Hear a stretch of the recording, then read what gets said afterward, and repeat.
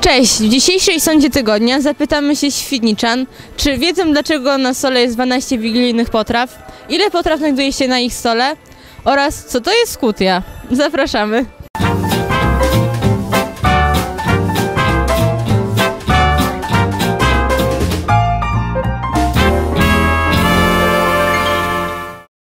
Dlaczego na stole wigilijnym jest 12 potraw? O, nie mam zielonego pojęcia. Ponieważ jest 12 apostołów i każda jest do apostoła.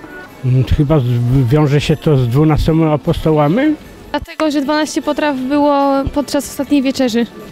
Nie wiem, 12 apostołów czy, czy 12 miesięcy, coś w tym stylu. A na pana stole jest 12 potraw? Nawet chyba więcej. No, z tym jest różnie, ale generalnie nie. No, myślę, że tak, no zależy jak mamusi się chce przygotowywać. Tak, znajduje się 12 potraw. Potrafi je pani wymienić? Ojej. E, ryby w trzech postaciach.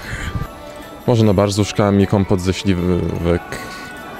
Karp w dwóch postaciach. E, łosoś.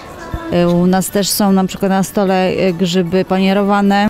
E, jest sałatka ziemniaczana bodajże. Y, barsz z uszkami, pierogi ruskie. y, Pierogi z grzybami i kapustą. y, Krokiety.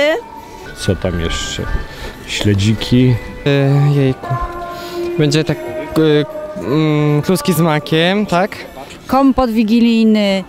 Ojeju, co tam jeszcze? Z Śledzie można zrobić też, ale u mnie nie ma 12 na pewno. E, su, e, sok z susz, e, suszu. Nie wiem, może już chyba 12 minęło, mam nadzieję. Wie pani, co to jest skutia? A co to jest skutia? No ja, jak to? Co to jest kutia? Kutia, no to jest no, taka, taka mieszanka maku, tych, tych, tych o, kawałków, no, suszonych owoców. Mak z makaronem i, i rodzynkami, coś na słodko, tak? y, I orzechy. I jeszcze y, tam. U mnie się tego nie praktykuje, więc nie bardzo ci. Tak, więc dyskutuję. To jest mak ze zbożem na słodko robione. Z pszenicą. Y, tak wiem, to jest taka potrawa z pszenicy i z miodów. Kutia, no to jest ryba, tak? Dziękuję.